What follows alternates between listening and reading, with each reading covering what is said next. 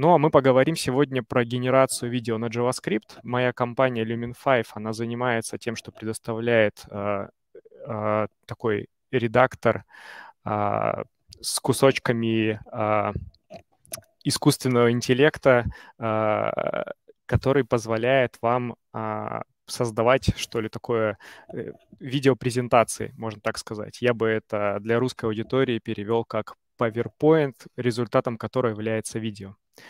А, но в целом там довольно много всяких задач внутри решается. А, сегодня я бы хотел проговорить про видео и как мы это делаем на JavaScript. А, если вы попробуете погуглить вообще код какой-то связанный с генерацией видео на JavaScript, скорее всего, вы найдете очередной видеоплеер. Ну и спойлер, э, там ничего прям супер интересного нет.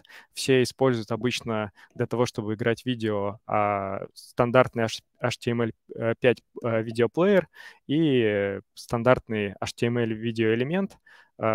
Грубо говоря, добавляют кнопочки к нему дополнительные, какие-то caption ы, subtitle ы, ну и так далее. Мы сегодня поговорим именно про генерацию. Давайте посмотрим такой маленький фрагментик. А, здесь у нас, а, во-первых, мы видим здесь настоящего Человека-паука, а, Тоби Магуайра, и здесь мы видим, собственно, типичное видео. Здесь по сцене перемещаются объекты, сцены сменяются, бывают какие-то эффекты там зуминга, трансформации и так далее, даже вот на вот такой простой сцене. Смотря на это видео, не кажется, ну, непонятно, как вообще, что такое генерация тогда видео на JavaScript. А, но если вот взять и сделать раскадровку видео, то уже все становится как для программиста проще. Мы работаем с отдельными кадрами в каком-то таймлайне. А, и получается, тогда возникает вопрос, очередной это доклад про Canvas. А, нет, но Canvas, безусловно, является одной из основных частей а, вот этого мира генерации видео на JavaScript, поэтому давайте немножко вспомним про, а, про наш Canvas, как вообще с ним работать, и давайте нарисуем один пиксель. Вот, а, собственно, стандартный код, который вы можете загуглить, и вы, скорее всего, его писали. А, у нас есть какой-то Canvas э, в нашем а, доме. Мы получаем контекст этого canvas, 2D контекст в данном случае, и мы а, рисуем один прямоугольник, он размером 1 на 1. А, и, собственно, мы ничего не видим справа, у меня должна быть картинка, потому что этот пиксель настолько маленький, что его даже совершенно не видно. А, если же все это зазумить на 500%, тогда вы уже увидите эту маленькую точку. О чем это нам говорит? О том, что если мы попробуем а, генерить видео таким образом, что мы будем каждый вот этот пиксель из кода а, писать, то ну, как бы это возможно, но получится что-то такое, то есть у нас там каких-то 1920 на 1080 э, каких-то вызовов конструкций, что как-то не супер круто, и задается вопрос, а, что попиксельно какие-то картинки рисовать, а, то есть кадры наши, это безумие. В целом, да, но Canvas мы можем рисовать какие-то базовые элементы, какие-то формы, какие-то прямоугольники, а, да, и вот какой-нибудь такой пример можно показать, что мы, собственно, создали некий наш объект на нашей сцене, дом, да, вот мы его с помощью Canvas нарисовали. Тут вдаваться в детали не будем, но я думаю, что каждый из нас когда-то рисовал на Canvas, там есть э, просто функции для того, чтобы нарисовать линию, там нарисовать прямоугольник, закрасить это все и так далее. Так, что-то все отрубилось. Так. А, на самом деле, если вот дальше развивать эту тему, кадр — это все-таки для нас, для программистов, это множество ассетов, а, с которыми мы применяем какие-то трансформации. И примеры asset ов, какие у нас могут быть, ну, это вот только что мы рисовали, например, а, домик э, линиями на canvas е. Мы можем этот э, как бы asset, как объект переиспользовать, да, вот э, несколько таких добавить на сцену, как-то проанимировать их. А, это картинки, видео, ну и там различные там типы, виды картинок, да, которые у нас могут быть. А, Вот, например, мы можем нарисовать уже отрисованный дом. Давайте представим, что у нас есть а, два различных canvas а, то есть canvas, на который мы рисуем, и здесь называется переменная house canvas, то есть тоже в доме а, есть канвас, на который мы уже до этого нарисовали а, вот тот самый дом. И вот на основной канвас, да, а мы рисуем, а, как бы забираем а, картиночку с того канваса с домом. И вот видим, что я тут с циферками накосячил, сплющил как бы изначальный, изначальную текстуру, а, но тем не менее вот таким образом можно переиспользовать как бы что-то уже отрендеренное.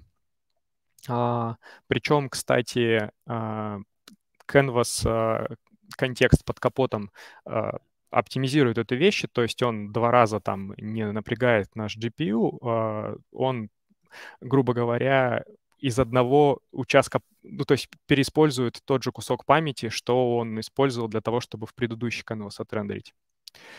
А, также мы можем нарисовать картинку. Вообще вот это контекст Draw Image — это супер крутая функция. А, она принимает на вход и canvas элемент, и, и буфер она может принять, и может принять а, HTML Canvas, offscreen Canvas, ну и, и видео тоже может туда принять и так далее.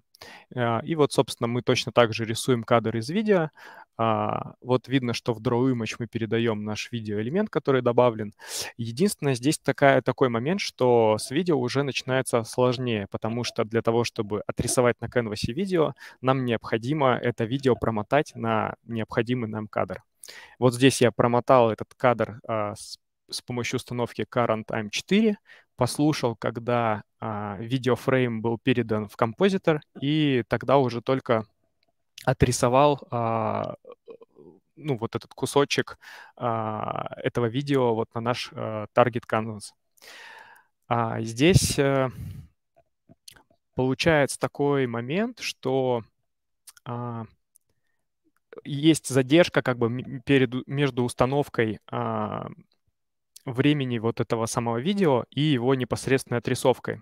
Давайте пока сохраним это в памяти, отложим на будущее, чтобы подумать о том, какую эту проблему может а, нам породить.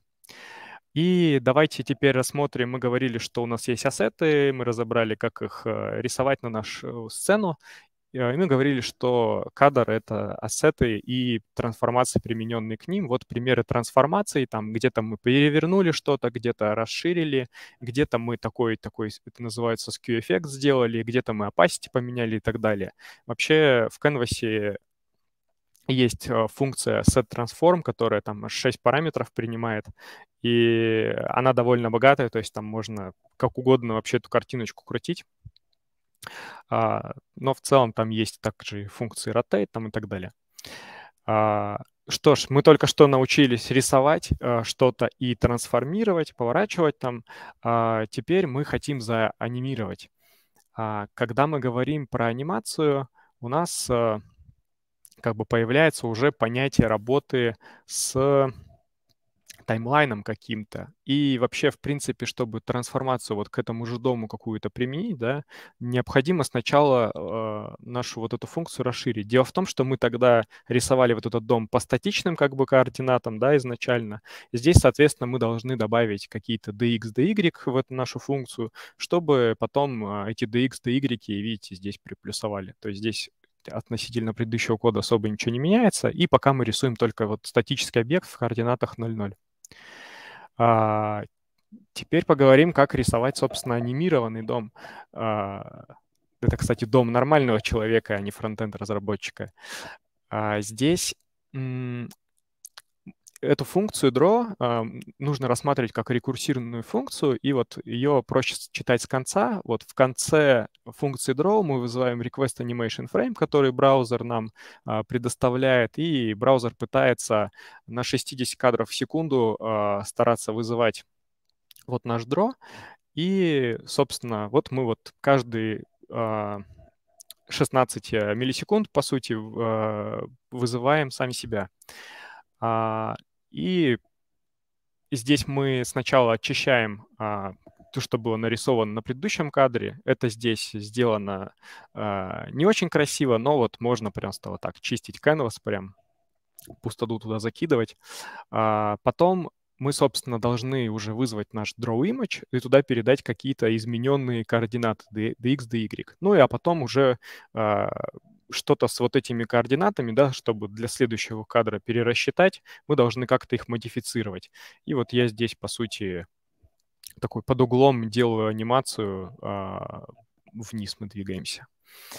А, с картинкой, да, может поступить так же. Здесь пример уже э, поворота. Тоже точно так же есть у нас какой-то угол. Этот угол по времени у нас меняется. И вот мы рисуем, и это изменение у нас такое линейное здесь происходит. В целом точно такой же пример, как предыдущий, только просто другой вид трансформации. А, с анимированием видео. А, тут а, уже анимацию использую просто вращение по кругу, да, то есть мы просто по, по синусу мы крутим x, по, по косинусу мы крутим y, и, собственно, вот у нас кружок получается, и видно, что мы еще в процессе модифицируем а, видео current time, да, чтобы туда вот э, время, на которое нам нужно а, наше видео отмотать, зафиксировать. А, здесь можно поступить и иначе, можно на самом деле просто попросить... А, ну и в конце мы тут, э, видите, вместо request animation frame э, просим видео, request video э, frame callback, чтобы как бы дождаться отрисовки видео и потом его нарисовать уже на, на таргетный канвас. Это можно и по-другому было обыграть. Например, мы могли бы написать также request animation frame стандартный, да, и ну, ну, его получается, да, использовать. А, эффект был бы а, немножко другим. То есть здесь мы гарантируем, а, что мы рисуем с частотой кадра, которая у нас есть у этого видео. Давайте пойдем дальше. Чем нам может вообще здесь помочь Pixie.js, о, которого, о котором многие слышали, и э, Pixie.js обычно э, для игр используют. Для видео он тоже отлично подходит. Э, давайте вот рассмотрим. Вообще, если говорить про Pixie.js, это такая э, библиотека, которая э, предоставляет довольно широкие возможности по работе с WebGL, и с, с Canvas тоже работает. Там есть пакет Pixie Legacy называется, который с 2D Canvas работает. Но в целом это библиотека для, а, для анимации, для работы с 2D-сценами. А, и она нам отлично может помочь, потому что если попробовать этот пример с вращением Тоби Магуайра а, перенести на Canvas, нам там нужно будет подумать о том, чтобы э, как-то объекты друг относительно друга расположить. Потом а, еще обратите внимание, э, у нас сейчас э, вращение идет относительно как бы серединки контейнера, да, в котором обе эти картинки находятся. Ну и, в общем, это уже какая-то там математика, да, какие-то расчеты. И, собственно, для генерации видео можно взять э, Pixie.js, просто потому что вот он нам эту проблему решает. Давайте быстренько посмотрим вот на этот пример. А, здесь мы получаем текстуру, мы ее можем инициировать там из какого-то удаленного там внутреннего ресурса, Base64 и так далее. А потом мы создаем два спрайта. А первого, первую картинку мы делаем маленького размера, 100 на 200, и вторую картинку мы относительно первой как бы в пространстве двигаем, да, то есть тут код просто выглядит, что мы uh, toby2 position x равно toby1 точка vis. В принципе, все логично. И дальше мы два вот этих uh, спрайта добавляем в наш контейнер. Контейнер мы позиционируем посередине относительно цены и устанавливаем ему точку, относительно которой мы трансформации вращения считаем на как бы серединку и красота. Все работает. А, Еще Pixie предоставляет нам условно свой собственный такой request э, э, request animation frame. По сути, это называется тикер. Он под капотом, да, использует request animation frame, но с одним маленьким нюансом. Дело в том, что поскольку эта библиотека а, используется в играх, и в играх важно, что даже если мы на какой-то итерации там где-то лаганули, мы не должны, э, ну, то есть представим, что мы пытаемся 60 кадров в секунду поворот э, чего-то рисовать, а, и в какой-то момент мы там что-то дико долго там какие-то операции на JavaScript делали, залочили все, и вот мы уже как бы на следующем кадре и должны как бы следующий поворот рисовать, но время-то прошло уже реального довольно много, да, и нам нужно как бы картинку с рывком, но повернуть вот до нужного конечного угла. Вот, поэтому а, Pixie нам под капотом там э, предоставляет вот эту дельту, которую мы можем вот в расчетах э, использовать. Это дельта между текущим и предыдущим кадром. Тоже довольно удобно, но в целом в видеогенерации там а, не так очевидно применение вот, э, вот а, именно такой штуки. Давайте пойдем дальше.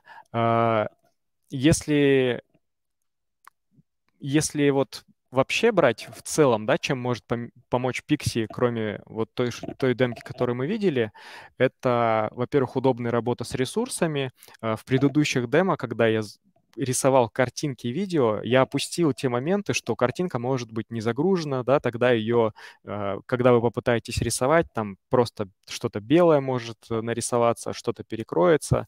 Иногда а, как бы размеры нашего элемента еще в какой-то момент э, рисования не просчитаны и так далее.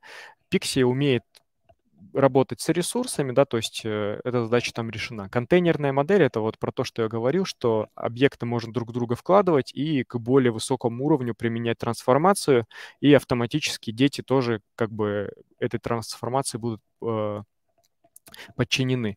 Есть готовый тикер, ограничивающий, ограничивающий частоту обновления, да, там можно задать, как часто этот тикер должен вызываться.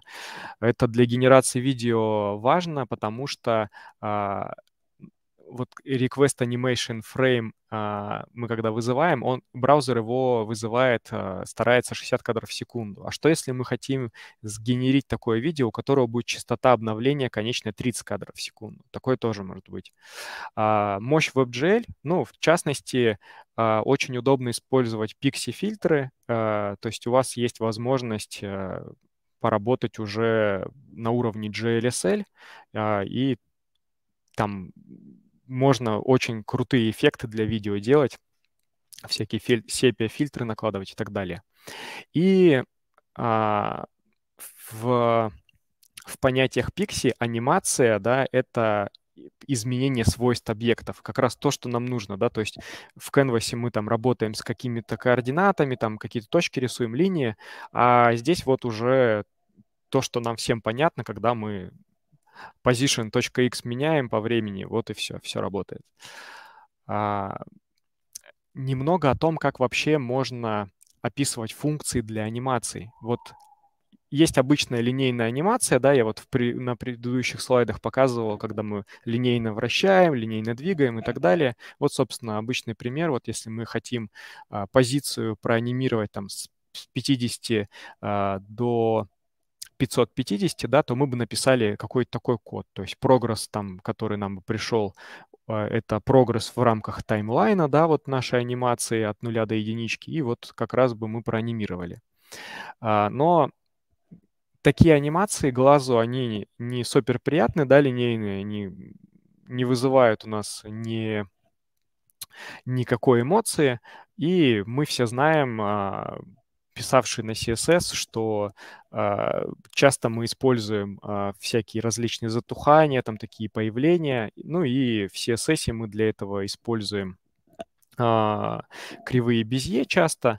Э, нам браузеры предоставляют их пресеты, но вот поскольку мы здесь уже работаем в плоскости как бы именно исполнения JavaScript, то нам придется при анимации объектов э, какую-то свою систему изобрести, либо взять готовые библиотеки. Вот можно, например, скачать э, библиотеку, которая по кривой Безье, а, ну, строит саму кривую Безье, и для какого-то прогресса она возвращает ее значение на этой кривой. А, ну и вот здесь видно два примера. А, нижняя — это просто линейная анимация, и верхняя — это Безье. Но в целом вы, я думаю, все видели, знаете, что это такое. Вопрос э, не совсем в этом. Вопрос в том, что э, код, который здесь написан, это все еще э, императивный код, и ну, мы же не будем для каждого видео и для каждого разного типа видео генерировать э, то есть заставлять разработчиков писать такой код.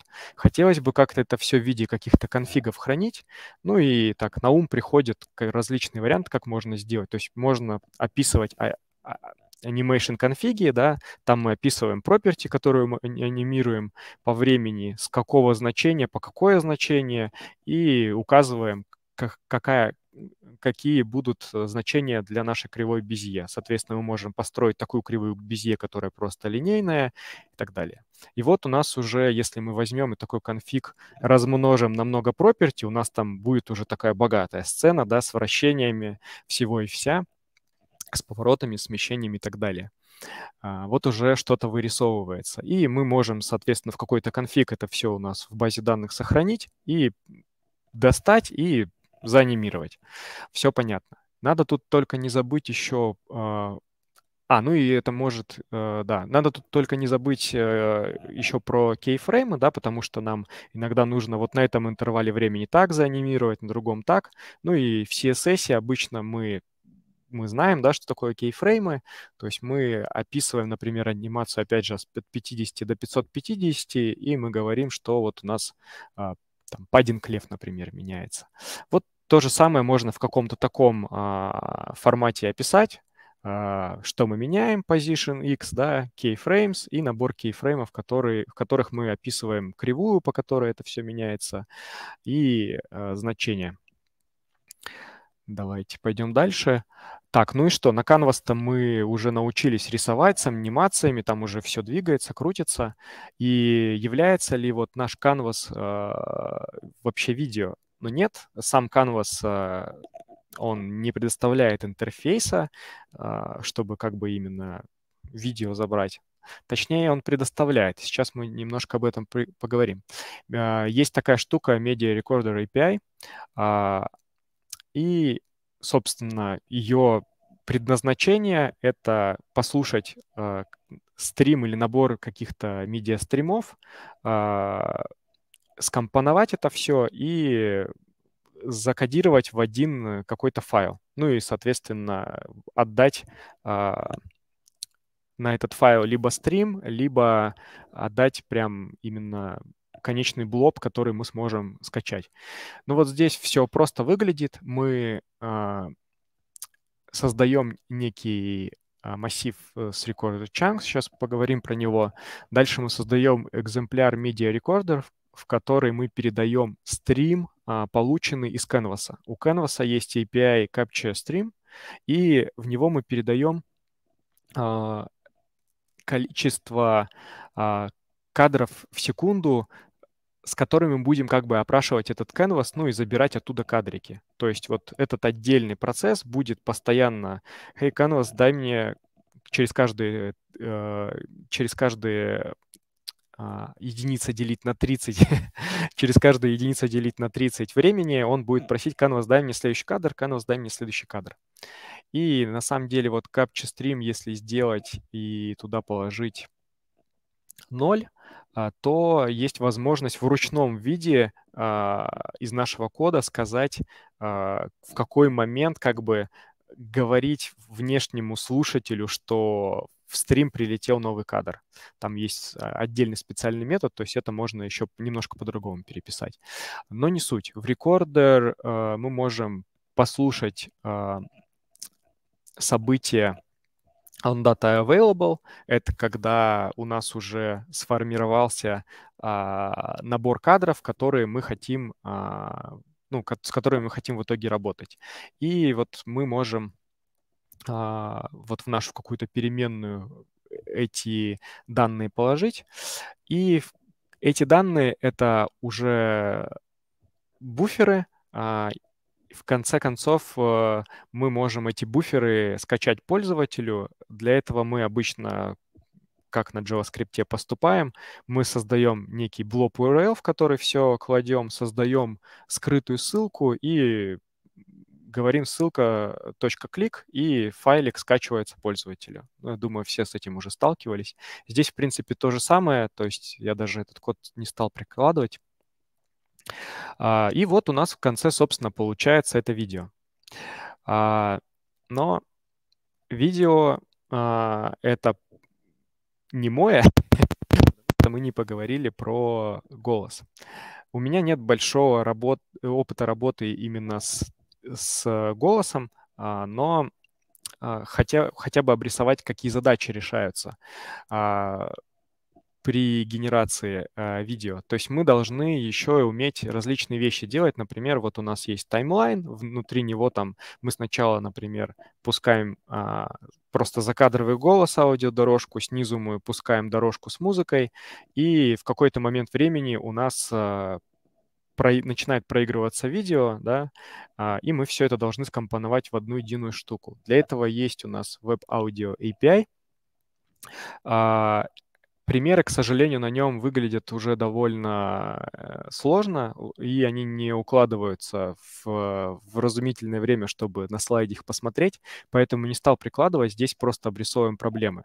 Вот э, такую задачу придется решать не супер сложно, э, тем более, что API есть, э, ничего там такого магического делать не надо. И часто приходится решать задачи, когда у нас нужно наложить как бы а, один поток на другой поток и при этом там организовать какое-то затухание и появление нашего звука.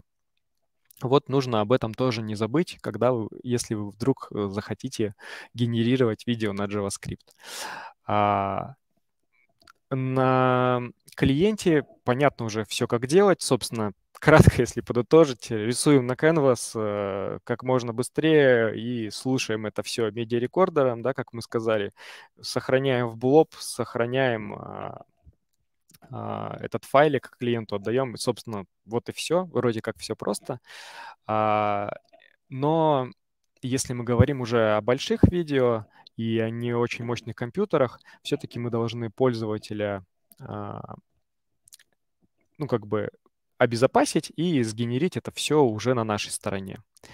И, собственно, идея это такая, что мы хотим переиспользовать код, который у нас уже есть в браузере и работает. А, какие же есть проблемы на Node.js? А, ну, во-первых, на Node.js Canvas нет, да, то есть Canvas нам предоставляет браузер, но, слава богу, нашлись умельцы, которые портировали uh, Keira Canvas, который, собственно, под капотом и у браузеров используется, и, слава богу, его можно из Node.js вызывать. Единственное, что разница такая, что uh, в окружении браузера у вас есть uh, дом-элемент Canvas, да, а здесь вы в ноде не располагаете дом-элементом Canvas, то есть немножко по-другому. Вот здесь э, видно, что мы явно импортировали э, наш пакет, и у него есть функция Create Canvas, такого э, в браузерном API нету. Ну, а потом дальше уже это выглядит как обычный Canvas, get контекст и так далее.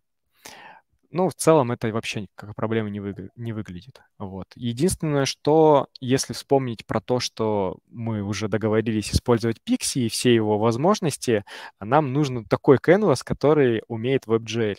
Слава богу, для этого тоже уже нашлись умельцы, которые, а, во-первых, сделали проект э, Headless GL, называется, а, в который, который как бы по сути а, позволяет нам WebGL внутри ноды использовать. И нашлись другие умельцы, поскольку мы обычно в рамках э, веба работаем с Canvas, у которого есть WebGL контекст и 2D контекст, да, их, это все надо вместе соединить.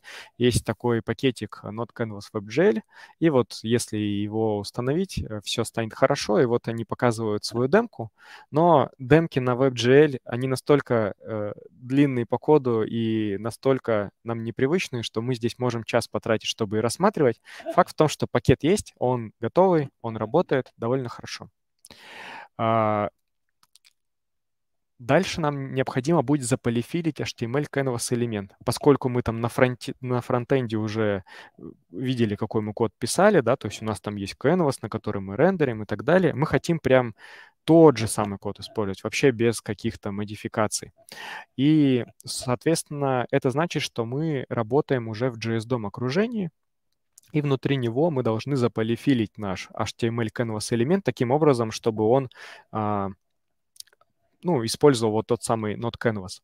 И это делается несложно, то есть мы а, переопределяем функцию getContext, а, и вот сейчас здесь вообще мы видим а, два переопределения. Not canvas и uh, create element. Давайте сначала create element посмотрим. То есть, когда мы говорим документ create element, uh, мы должны вернуть как бы другой наш отполифилированный canvas. Это все вот просто делается, да, в самом низу. Uh, if type равно равно canvas.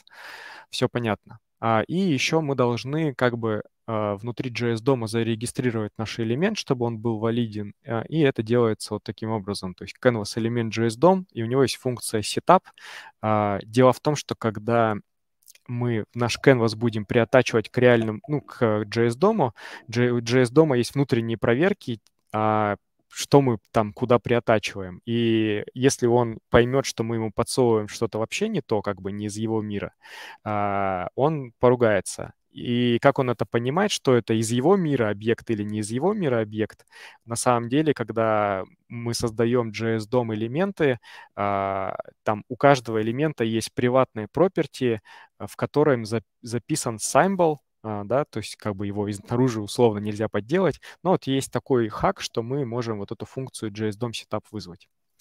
А, ну еще а, нодовый а, head, head, uh, handle, handles uh, Headless.jl uh, не поддерживает uh, WebGL 2. Это, в принципе, не прям большая на данный момент проблема.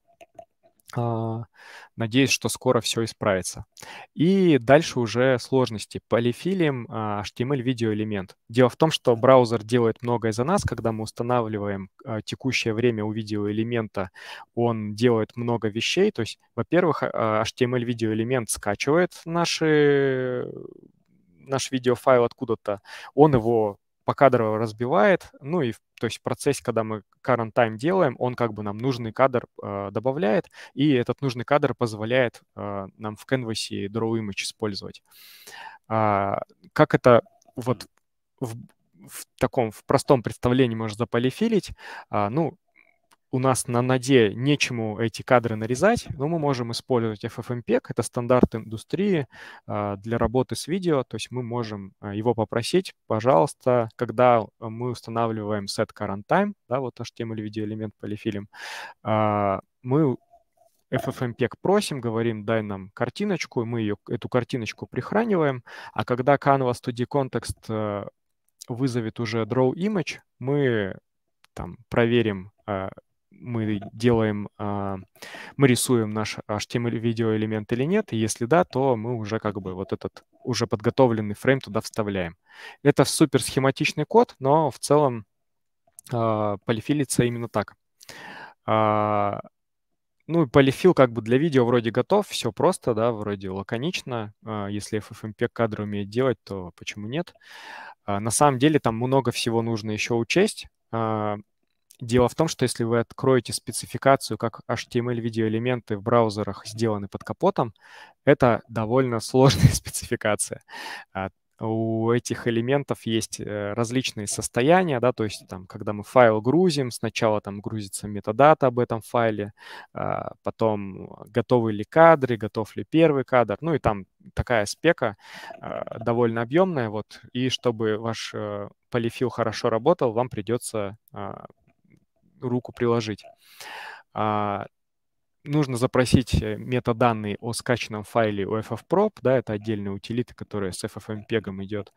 А, нужно имплементить ready state состояние, нужно еще там про всякие вещи не забыть, например, пока видео не загружено, current time должен быть, uh, должен быть uh, не undefined, не null, а что там, not a number. Uh, и обработать различные кейсы. Не забыть про то, что в JavaScript есть во всякие проблемы с точностью, uh, а при, при расчете границ кадров во времени это очень важно, да, то есть если у вас там лишние кадры начнут в видеоряде лезть, это проблема. Поэтому там с округлениями придется uh, поработать. А, есть еще кейсы различные, хитрые, там, например, э, может быть, пользователь видео вам загружает, в котором есть а, видео и аудио, но аудио длиннее, чем видео, и в таких случаях большинство браузеров обычно, когда видео заканчивается, аудио еще идет, они как бы последний кадр дорисовывают. Вот вам тоже такое поведение придется, скорее всего, обыграть. Ну и по подумать, что делать с перформансом придется, потому что, как мы на, на предыдущем слайде посмотрели, а, мы на каждый current time, да, установку времени, мы просим FFmpeg, а это межпроцессное взаимодействие, соответственно, там нужно с кэшами поиграть, ну и так далее. В общем, а, закулисье довольно интересное. А, и вот, э, когда вы уже с этим всем побьетесь, а, вы будете вот изнеможденный, истощенный, вот как Тоби Магуайр на вот этой гифке, но в целом видится как спасение вот-вот скоро наступит, а спасение может быть какое? Либо какой-то умелец э, возьмет и заполифилит нам э, то, о чем мы сейчас говорили, и даст нам готовое, и компаниям, таких как моей, э, таким как моей, таким разработчикам, как я, не придется это все руками делать. А, либо мы дождемся WebCodex API, которые позволяют на самом деле много проблем решить, и в том числе позволяют э, ну, доставать кадры из видео, здесь еще стоит упомянуть, что при генерации видео, а, пока, ну, если мы это делаем без веб-кодек API, мы можем генерировать э, видео максимум на скорости 60 кадров в секунду. То есть, типа, чтобы сгенерить 5-минутное видео, нужно 5 минут ждать а, в этом духе. Можно там распараллелить, можно использовать off-screen Canvas API и в разные веб-воркеры все это засунуть, да, потом это все собрать. Но если говорить про, про реальное время, да, то это довольно долго. То есть, типа, и это все просто потому, что кадры, в принципе, из видео могут довольно шустро доставаться. FFmpeg процессит э, часовое видео там за 5 минут, например. Вот. И нам хотелось бы добиться такой же производительности и пошустрее это все генерить. Но пока ждем, вот, а, но можно не ждать. А, сегодня я с вами поделился как бы общим представление о том, как генерить эти видео, и вы только что приобрели новые знания, новую силу, а, и эту силу можно приложить. Чем больше сила, тем больше ответственность. Приходите, поддерживайте проекты Pixie, Headless.jl, NodeCanvas, а, JSDOM, да, можно туда тоже пропозал на полифильник принести, а, и WebCodex. Если вдруг увидите какого-то бедолагу, который бьется с очередным полифилингом видео для рендеринга, пожалуйста, помогите ему. Вот, на этом у меня все.